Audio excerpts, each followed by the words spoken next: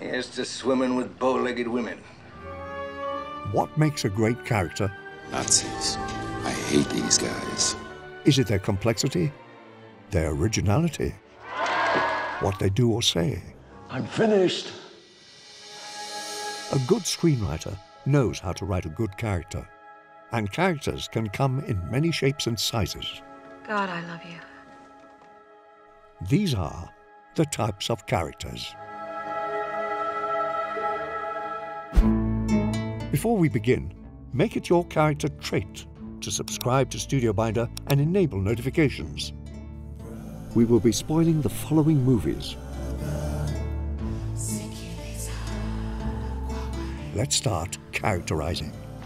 You want to hear my pitch? Go away, goddammit! Knowing different character types doesn't box a writer into creating stereotypes. Instead, knowing the types of characters can allow a writer to better understand their different players and know how they should function within a narrative. Characters can be defined by two different metrics. The first is flat versus round. A flat character is one-dimensional and can usually be summed up by one distinct trait. A round character is on the other end of the spectrum, multi-dimensional and complex, typically filled with very human contradictions. The terms were coined by E.M. Forster in his 1927 book Aspects of the Novel, where he writes, Flat characters, in their purest form, are constructed around a single idea or quality. When there is more than one factor to them, we get the beginning of the curve toward the round. I, I understood that reference. Characters can also be categorized as static or dynamic. A dynamic character undergoes some form of change throughout a story, whereas a static character remains mostly the same from beginning to end. A combination of all these character types can be found in most films, and the categorizations aren't binary. Each character sits on a spectrum. This means that the category a character falls into is relatively subjective. Make up your mind. Let's look closer at flat versus round characters to understand when and why they are used. I want the truth! You can't handle the truth!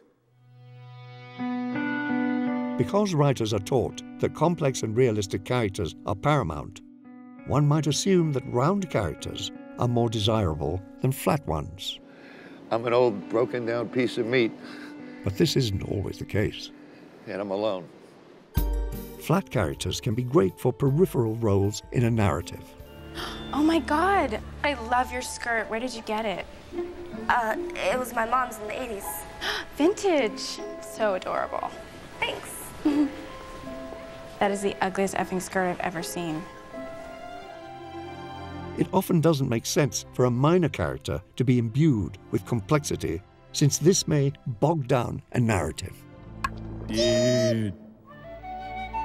Flat characters can be used to contrast with protagonists. If I take one more step, it'll be the farthest away from home I've ever been. Samwise Gamgee is a relatively flat character, loyal and protective throughout the Lord of the Rings series. Get back, you!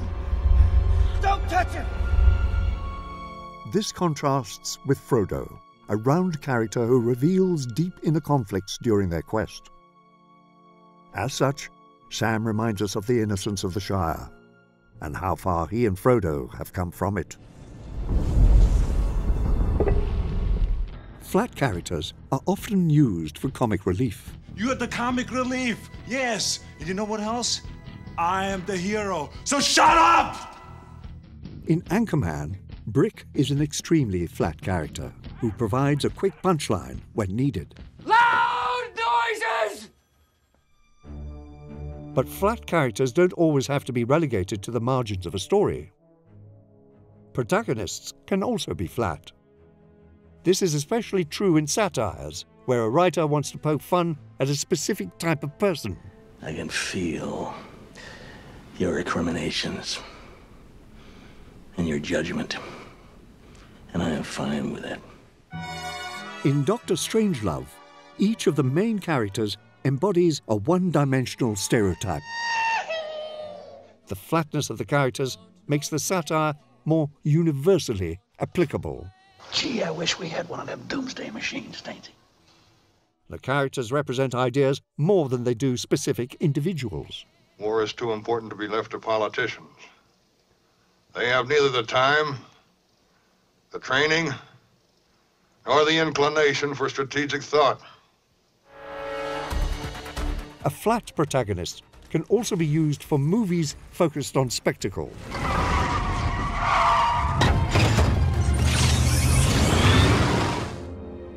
In most earlier James Bond films, for example, Bond is portrayed as a suave and unflappable spy.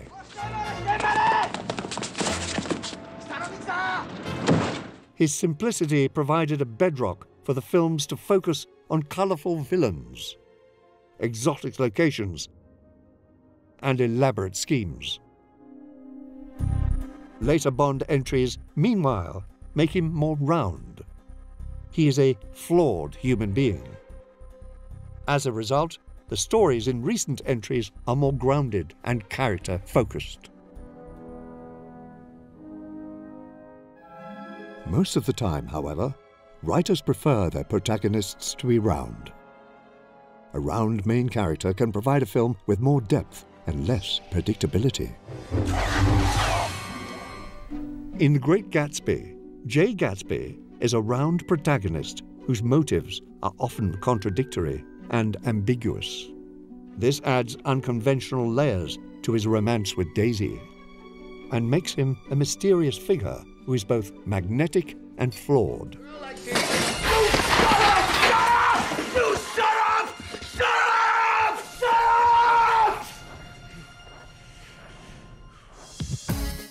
A round character can also work to subvert expectations. You got into Harvard Law?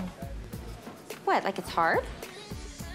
In Legally Blonde, Elle Woods has much more depth to her than meets the eye. So if you're trying to sell it to me for full price, you picked the wrong girl. And this subversion propels the story. I love you. I've waited so long to hear you say that. But if I'm going to be a partner in a law firm by the time I'm 30, I need a boyfriend who's not such a complete bonehead. Round protagonists are necessary for character driven films. Dewey Cox needs to think about his entire life before he plays. Since their inner complexities are often the story's core conflict. Wrong kid died. In Maestro, Leonard Bernstein and Felicia Montealegre are both round characters. Bernstein's contradictory status as an extroverted conductor and introverted composer drives the story. And if you carry around both personalities, I suppose that means you become a schizophrenic, and that's the end of it. the narrative is further complicated by Felicia's own internal contradictions. Let's not make excuses. He didn't fail me. Felicia. No, it's. It's my own arrogance. To think I could survive on what he could give.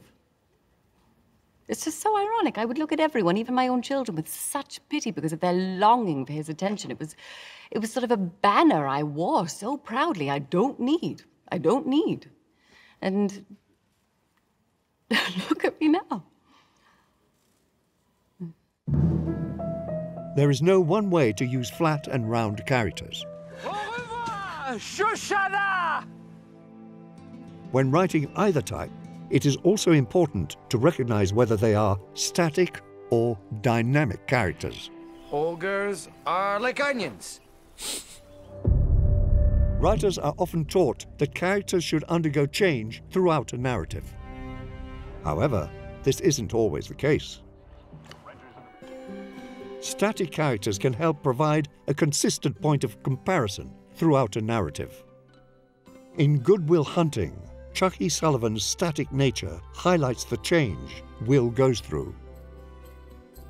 It is his character who inspires Will to evolve and emphasize a core aspect of the narrative, whether to change or remain where you are. Look, you're my best friend, so don't take this the wrong way.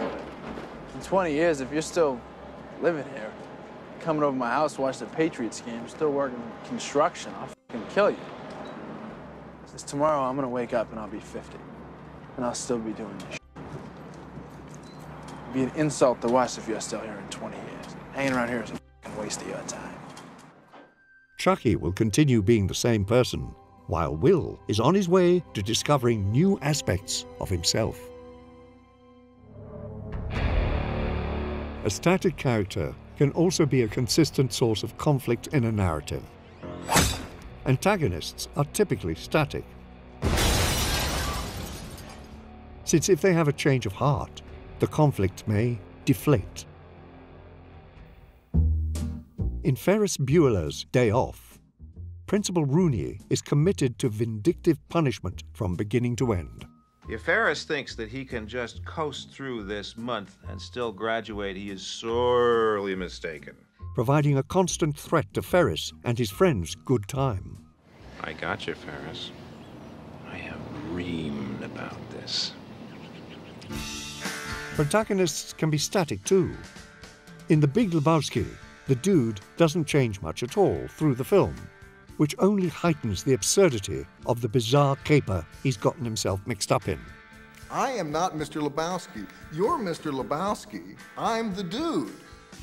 When a plot is as dense as the one in Big Lebowski, there may not be narrative room or necessity for character development. Sometimes there's a man. Well, he's the man for his time and place. He fits right in there. Static protagonists can be particularly useful in television series. Most sitcoms rely on characters maintaining the same dynamic from episode to episode. If you're saying I play favorites, you're wrong. I love all my children equally. I don't care for Joe. In It's Always Sunny in Philadelphia, the gang never learns its lesson. They continue to be terrible people from season to season. Oh, Gunther, the morality king. Hi, I'm Gunther. I've never lit anybody on fire before. You know, you light one bitch on fire and everybody freaks out. Oh, you son of a bitch. It was one All right, time all and right, one all right, thing. relax, I just. relax. Ah! Dynamic characters, however, can provide a satisfying arc. Particularly if the arc shows a character overcoming a flaw within themselves. You want to fight me? For her? No. I want to fight you for me. Scudder and the power of self-respect. In Little Miss Sunshine, Olive learns that a fixation with winning isn't healthy. A real loser is somebody that's so afraid of not winning, they don't even try. Now, you're trying, right?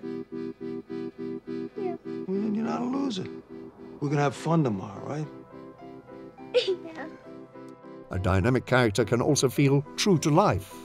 In Boyhood, Mason undergoes a series of changes that parallel the changes many experience as they grow up. Make a wish, make a wish.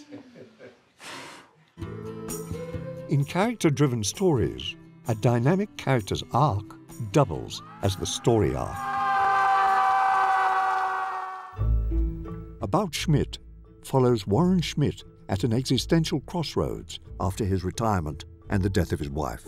What really means something, Warren, is the knowledge that you devoted your life to something meaningful. He takes stock of his life on a road trip to his daughter's wedding. And I suppose the most you can hope for is to make some kind of difference. But what kind of difference have I made? He ends the trip with a rather pessimistic assessment of his life. I am weak. And I am a failure. There's just no getting around it. But a letter from his Tanzanian sponsor child helps him realize he did make a difference after all. One of the children I care for is little Ndugu Umbo. Ndugu and I want you to know that he receives all of your letters. He hopes that you are happy in your life and healthy. He thinks of you every day, and he wants very much your happiness. The Breakfast Club has almost zero plot. It's just five teenagers stuck in detention. Instead of a traditional plot, their emotional journeys provide narrative peaks and valleys. Did you work for the money? Shut for those your mouth. Or did your daddy buy those? Shut up! Dynamic characters can change at different rates. Some start to change near the beginning. Peter, Yeah. are you all right? Uh. I'm fine. Some don't change until the very end. I will not die a monster. For much of Casablanca, Rick Blaine is stubborn and resolute. My friend, you could make it a million francs or three. My answer would still be the same. But at the very end, he changes and acts selflessly. And the names are Mr. and Mrs. Victor Laszlo, But Why my name, Richard? because you're getting on that plane. This sudden dynamism makes the final scene all the more dramatic. He's looking at you, kid.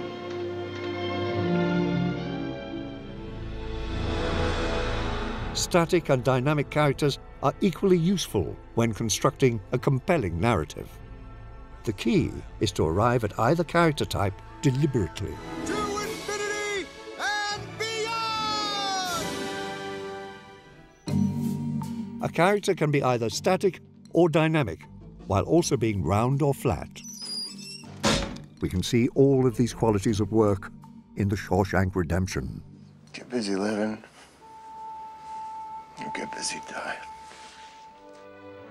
The Shawshank Redemption is filled with memorable characters. Lord, it's a miracle! Man up and vanished like a fart in the wind. Based on the Stephen King novella, writer-director Frank Darabont uses a variety of character types to further the plot and color the world. How can you be so obtuse? Captain Hadley is an example of a flat and static character. He is a one-dimensional prison guard, cruel and vindictive. I ain't gonna count to three. I'm not even gonna count to one. You will shut the f up or I'll sing you a lullaby. and he maintains these qualities throughout most of the film. Why should I believe a smart banker like you? So I can end up in here with you? The protagonist, Andy Dufresne, is a round and static character. Andy is deeply complex. As for Andy, he spent that break hunkered in the shade, a strange little smile on his face. You could argue he'd done it to curry favor with the guards. Or maybe make a few friends among us cons. He is intelligent and resilient, yet he is also occasionally jealous and passionate. It is unclear whether he is wrongfully convicted for killing his wife and her lover. Darabont's lengthy opening description indicates this complexity. But Andy doesn't undergo immense change throughout the film. From beginning to end, he is dead set on obtaining freedom. It is this unwavering want that drives the plot. Red, meanwhile, is both a round and dynamic character. Red is fully realized with many layers to his personality, and he also changes as the film progresses.